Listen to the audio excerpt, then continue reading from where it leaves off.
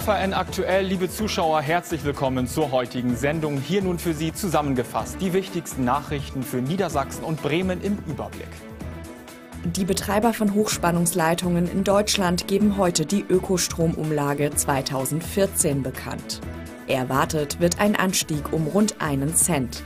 Damit wird ein Rekordniveau von 6,3 Cent pro Kilowattstunde erreicht. Ein durchschnittlicher Haushalt, der im Jahr etwa 3500 Kilowattstunden benötigt, müsse einen Anstieg von 185 auf 220 Euro erwarten. Hinzu kommt noch die automatisch mitsteigende höhere Mehrwertsteuerbelastung. Die Umlage kommt durch die Vergütung der Betreiber von alternativen Energieanlagen zustande. Diese erhalten auf 20 Jahre einen festen Betrag. Über die Umlage wird die Differenz zwischen am Markt erzielten Strompreisen und dem Vergütungssatz finanziert. Durch den massiven Abfall der Strompreise im Jahr 2013 wachsen auch die Differenzkosten.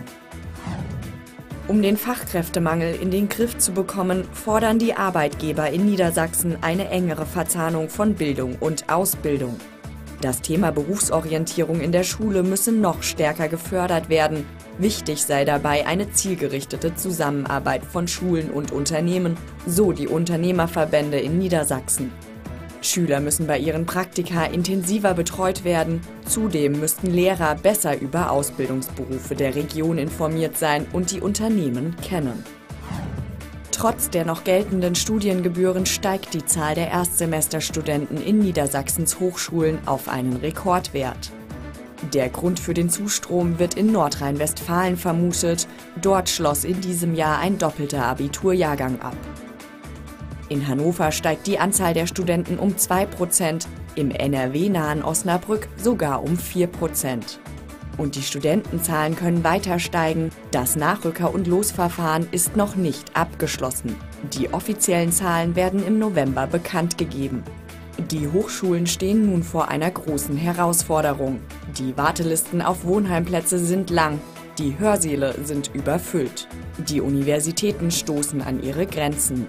Sorgen bereitet Experten allerdings die sehr hohe Abbrecherquote. In Ingenieursfächern liege diese beispielsweise bei 50 Prozent. Der Grund hierfür wird bei der Berufsorientierung in der Schule gesehen. Die Überlegungen gehen so weit, von einer verpflichtenden Berufs- und Studienorientierung zu sprechen. Schülern müssten bessere Möglichkeiten der Arbeitsplatzorientierung gegeben werden. Unter dem Motto Mit kleinen Dingen Großes bewirken startet die weltweit größte Geschenkaktion für Kinder in Not. Weihnachten im Schuhkarton. Bis Freitag, den 15. November, werden die mit Geschenken gefüllten Schuhkartons an den Sammelstellen angenommen.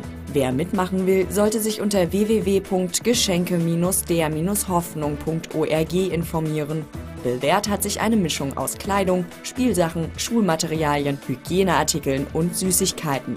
Seit 1993 wurden bereits über 100 Millionen Kinder in rund 150 Ländern beschenkt.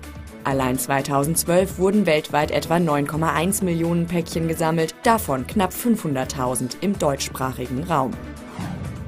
Die neue Sicherheitsnorm der Europäischen Union fordert ab 1. Januar 2015 neue Standards, wie viel Gewicht Fahrgeschäfte aushalten müssen. Die Experten der EU haben errechnet, dass Menschen in den vergangenen Jahrzehnten deutlich schwerer geworden sind. In Zukunft wird von einem 100 Kilogramm und nicht mehr von einem 75 Kilogramm schweren Fahrgast ausgegangen.